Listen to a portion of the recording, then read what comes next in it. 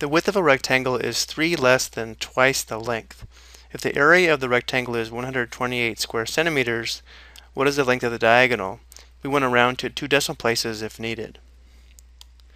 Let's start with the first state. Let's start let's start with the first sentence.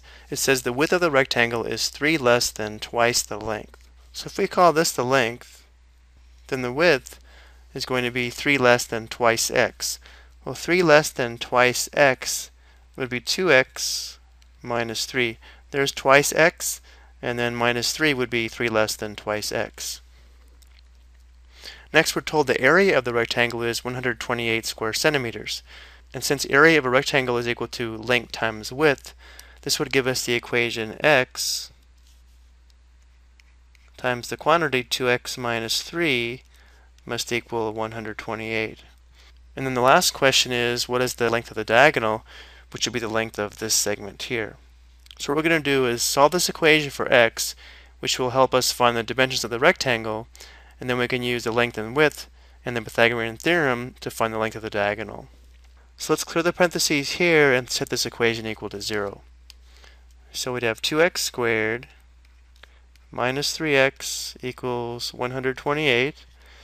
And now to set it equal to 0, we'll subtract 128 on both sides of the equation which would give us 2x squared minus 3x minus 128 equals 0. And now this isn't factorable, so we'll have to use the quadratic formula to get a decimal approximation for x.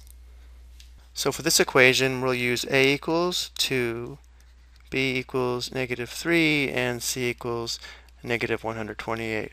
And just in case we need this, the quadratic formula is x equals negative b plus or minus the square root of b squared minus 4ac all over 2 times a. So we're going to have x equals negative negative 3 plus or minus the square root of b squared, which is negative 3 squared, minus 4 times a times c, where a is 2 and C is negative 128. This is all over 2 times A or 2 times 2. So we'll have x equals, this will be positive 3 plus or minus the square root of the discriminant, which we'll come back to in just a minute, all divided by 4. Now let's determine the discriminant on the calculator. We have negative 3 squared minus 4 times 2 times negative 128. So we have 1033 for our discriminant.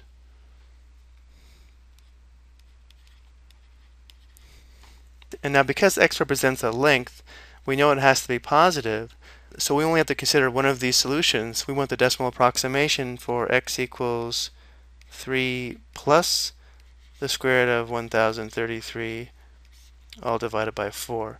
This will give us the decimal approximation for this dimension here.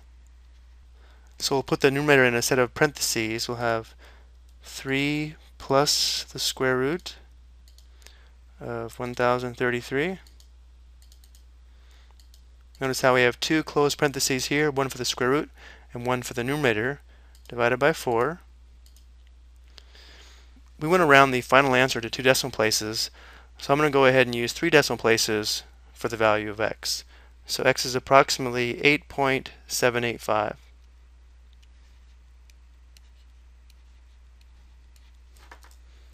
Okay, so x is approximately 8.785 centimeters. Now we also need to find the length of this side here, which is 2x minus 3. Well, 2x minus 3 is going to be approximately equal to 2 times 8.785 minus 3.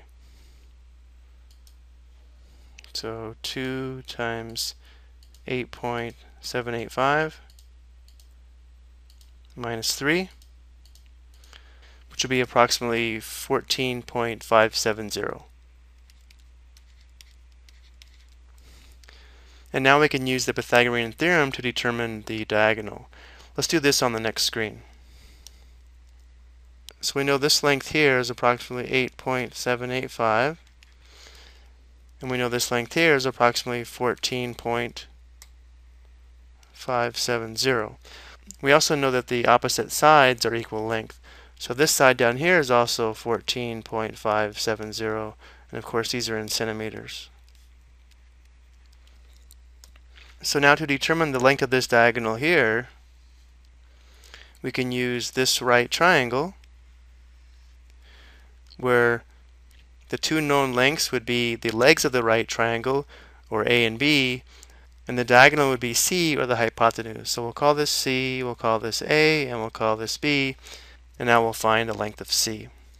So we'd have C squared is approximately equal to 8.785 squared plus 14.570 squared. So now we'll go back to the calculator and determine what this sum would be.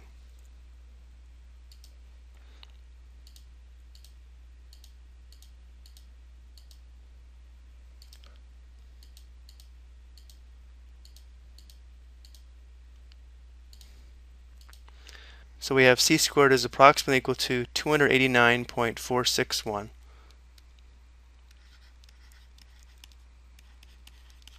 And now to solve for c, we'll take the square root of both sides of the equation.